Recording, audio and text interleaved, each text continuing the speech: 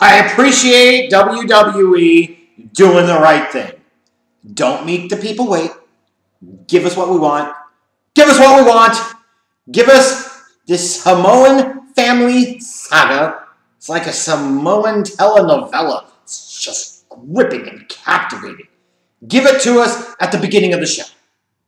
Like, just dive right into it. Hit us with the highlight first. And I actually think, ironically, it was a really the right choice for this week's show because starting off with this just made the rest of the night a breeze. And everything was great. But by God, the opening segment was. And uh, now you've still got all of these people, of course, that want to refer to Roman Reigns as the heel. Oh my God, wrestlers once told me in shoot interviews some of the backstage lingo and some of the words associated with the business, like keeping it kayfabe and everything else. So now they've told me heel. So I'm going to say Roman Reigns is a heel because it sounds cool to say he's a heel. He is a face! If you're going to use the insider terms, use them accurately. He is a face to the baby power, baby face, 100% of the way. All this man wanted on SmackDown was his just respect, his earned respect, his merited respect. And he just simply tried to demand said respect from Jey Uso. But no, no, no, no, no, no, no, no. Jey Uso is the one that has to continue to keep looking the gift horse in the mouth. Jey Uso is the one that's the petulant heel here that won't up, own up to the truth. Like Roman's the one overcoming the obstacle here. It's not Jey Uso because he can finish him off like child's play anytime. The obstacle here is Jey Uso's stubbornness. It's Jey Uso's unwillingness and lack of acceptance of the absolute truth. That he can be a key core cog of the Samoan family dynasty, but there is only one tribal chief, and it's Roman Reigns. And for God's sakes, all the man wants you to do is acknowledge it. He whooped your ass on Sunday. He's a universal champion. Tribal chief. Just say, but no, no, no, no, no, no, no. Jey has to go down the John Cena route and deny all truth and factualities. It's fantastic.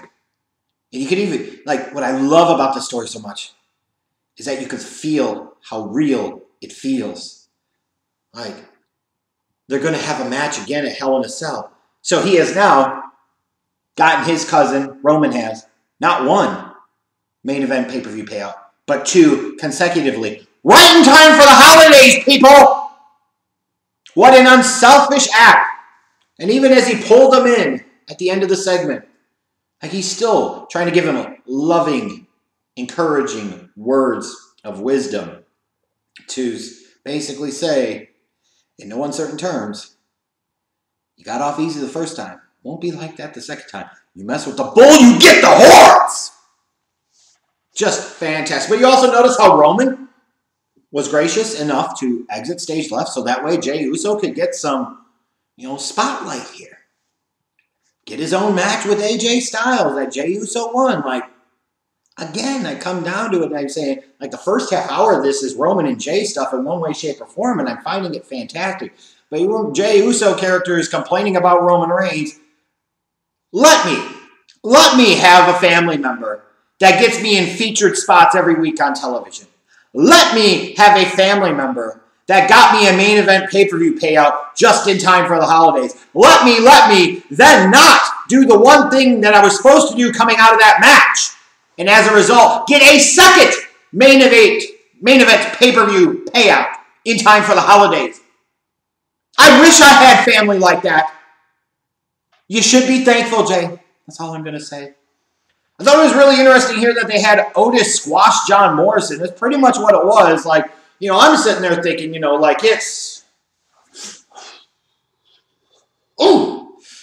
Just for Tony. Just for the tasteless one. And I hope he was tuned into SmackDown. And you know deep down he was. Tony, let me tell you something, brother. You can talk about family time all you want. But from 8 to 10 on Friday nights, it could all potentially be Jomo time. The, the wife can put the kids to bed, and you go sit your fat ass in front of the television, and you watch SmackDown, and you wait for your moment of Jomo. No homo. Okay? I just I thought it was interesting that they had him get squashed here so quickly. Almost kind of a travesty. Uh, speaking of guys getting squashed because they're nothing, Shorty G. Gee, wonder who would have seen that coming? Everybody. This time it's the butcher Sheamus squashing him. And Big E with apparently half of a head full of hair now. I didn't realize that the he was getting that LeBron James hair. I was more focused on that than him issuing the challenge to Sheamus next week on SmackDown for a Falls Count Anywhere match. I'm sorry, it's me. And before you guys sit there and talk about my hairline, I got what, a little over five months until I turn 40. You see this? Like, it's here. This is real. Like, these aren't Trump plugs. These aren't LeBron crappy looking hair plugs. Like, this is real deal, legit stuff. It might not look the best, but a lot of you at 29 wish you had this hairline when you get to 39. And if you don't, shut your mouth, is what I got to say. Uh, your kind of one hour main event for the show was the KO show. And I got to say, why is KO Kevin Owens on SmackDown when he's a Raw guy? And they're trying to pump up and hype up the WWE draft starting next Friday on SmackDown. All right, cool, whatever. But Alexa Bliss might actually pull this thing off. She might actually pull this thing off. The way she kind of presented herself, the way she kind of told it, like in a lot of ways, almost emotionless, but you could feel the emotion in the lack of emotion in terms of what she says you know, and talking about it just in like a very cult like, but also very sensual, sexual type of matter about when the fiend touches you. And ugh, like you could feel that. This is a necessary, important turn for Alexa Bliss's character because she needed something. And it adds another layer to the fiend. Makes me think that he might be more destined to be heading to Raw. But interesting nonetheless. Uh, most interesting thing of all, though, was when Michael Cole says that everything the Fiend touches is changed forever. So that's how we do in the Fiend, huh? We talking to his baby mamas before you go on TV on Friday nights? Is that how we doing it, Mitchell Cole? We're to talk about baby mama drama? I see you. You subtweeting baby mama drama on live national television. I don't know whether to piss all over that or respect the game. Yes, everybody Bray Wyatt touches pregnant. Anyways, moving on. At this point in time, I was really vibing with this show. Then, of course, you get to the second hour, which leads to the inevitable Matt Riddle appearance. Like, why is he on my TV? Why can't he just go away? Why are we splitting up, teasing up, splitting up the Lucha House Party? Just why is there a need to do this? Why does there feel like it has to be done? Just why, why, why, why, why? Why does Matt Riddle have to come right back on TV this week and get a tag match victory? Why, why, why, why, why, why, why? So many things involving Matt Riddle are just a why. At least we didn't get a moment of bro, because that'll always be a moment that blows. Fuck Matt Riddle. And as far as other stupid things, Carmella big reveal! Oh boy! I'm cool with if you're making her into a valet or manager type or something else. As, as I've always talked about, not everybody needs to wrestle and not everybody should wrestle. But the, the whole time it's like gives you that Emmalina vibe. Like it's just no, I'm cool. Like we didn't even notice she was gone. Just saying. If this was supposed to be a big reveal, I don't know what exactly was supposed to feel big about it because it wasn't. Uh, speaking of things that were supposed to feel big, but then really haven't been, Sasha Banks appears on SmackDown and issues a challenge to Bayley. Next week, those two on SmackDown for the SmackDown Women's Championship. Got to give the folks something to try and incentivize them to tune in to watch the WWE draft on next Friday, huh? Just couldn't wait until the pay per view, huh? Of course not. What are the likely chances that this is actually a fully planned out, fully booked match? That actually sees a clear, decisive winner? Probably slim to none, although knowing the history, you would have Sasha Banks win the belt on SmackDown just to lose it at Hell in a Cell would be about par for the effing course here. But again, this is another week where Sasha's got some, you know, ability to show some acting chops, and, and just I don't see any of it. Not at all. I hope her role in The Mandalorian is largely a silent one, because that's probably best.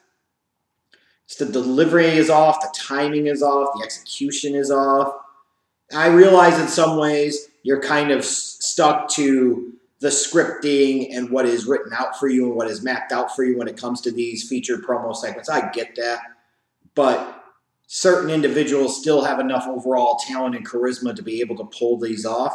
And I just think these segments with Sasha Banks have largely missed, frankly. I mean, I'm just not seeing it. Like the taking off of the neck brace should have been a big holy crap reveal and a big type of, you know, I've been faking it the whole time too. It wasn't. It's just not working. So they finally got to the point where they split these two off. And was actually kind of looking forward to a little bit just because maybe we finally be done with it afterwards. And you know, so far it's not jamming for me. Maybe once we actually get to the matches, it'll jam for me no more. But right now, it doesn't. But I tell you what does jam for me and will jam for me going forward in perpetuity is Sami Zayn as the one true, undefeated, undisputed, reigning Intercontinental Champion. Your number two babyface on Friday Night SmackDown, people. That is, of course, Sami Zayn. And you say, this is zany to hear you saying this, Jeff, in 2020. Well, buckle up, bitches, because it's been that type of a year. But I have seen the shining light, okay? And let me tell you about what type of man Sami Zayn is. Earlier on in the night, was fantastic. He took Jeff Hardy's fraudulent Intercontinental Championship and dropped it straight in the cash, trash can Medusa style and said, This is my title. This is the real Intercontinental Championship. And that's exactly what the hell you should do.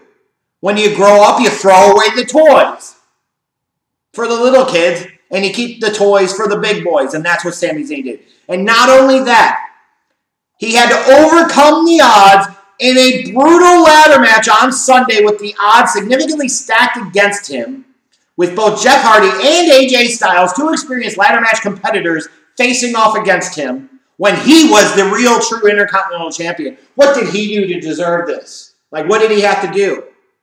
But he went out there, handled business, got the job done, broke zero rules in the match, and he won. So he retained, not recaptured, retained, big difference, his Intercontinental Championship.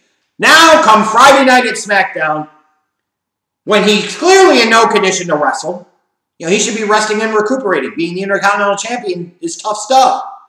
But this man is such tough stuff that injured ribs and everything, it doesn't matter. He's going to make sure that you, the fans, are entertained. And of course, this is all thank you, Roman, because he stepped aside early in the night and said, let me let SmackDown's number two babyface get the shine here in Sami Zayn. And that's exactly what happened. He shows he's a fighting champion by not only having this match in the main event against Jeff Hardy, but also putting the Intercontinental Championship on the line. And I know what a lot of you are going to say. Well, Sami Zayn cheated. Sami Zayn moved the, removed the turnbuckle and used it to his advantage. Look, Sami Zayn, unlike certain people in this country, is taking the threat of COVID very seriously. And when he recognizes in real time that the turnbuckle, part of his workspace, is not up to strict safety and sanitation standards and specifications, he's going to call that out.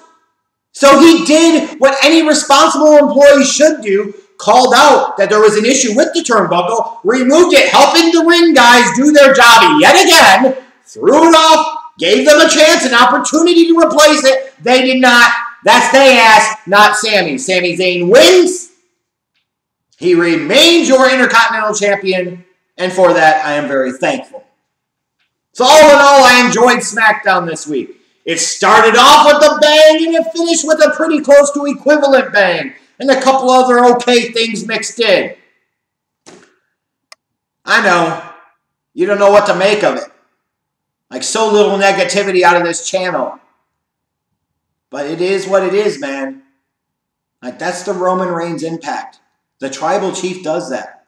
I have no problems calling him that because he is our hero. He is the number one babyface, not on SmackDown, not just in WWE, but all of professional wrestling. And that's why OTR Central is not the wrestling show you want, just the wrestling show you need, because I will always, always, always, always tell you the truth, whether you want to accept it or not.